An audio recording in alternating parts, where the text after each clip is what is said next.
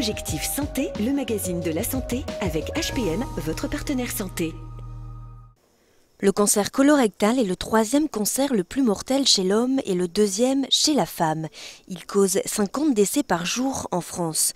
Alors, qui est concerné par ce cancer, mais surtout comment le dépister, nous avons interviewé un gastro-entérologue, le docteur Éric Vaillant. Le cancer du côlon, c'est une tumeur maligne qui se développe sur euh, un certain nombre d'années. Ça met 7 euh, à 8 ans environ.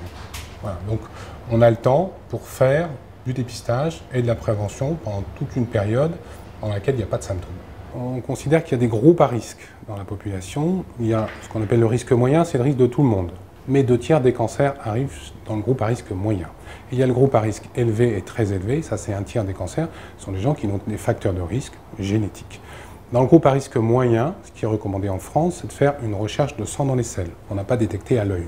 Chez les gens qui ont des facteurs de risque génétiques, personnels, qu'on appelle le risque élevé ou très élevé, il est recommandé de faire directement une coloscopie.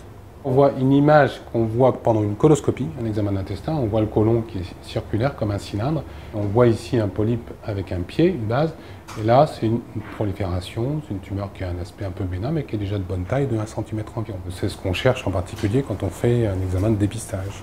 Grâce au dépistage, le cancer colorectal peut être évité dans 90% des cas, à condition d'être vigilant. À partir de 50 ans, chaque Français doit avoir entrepris une démarche de prévention et de dépistage.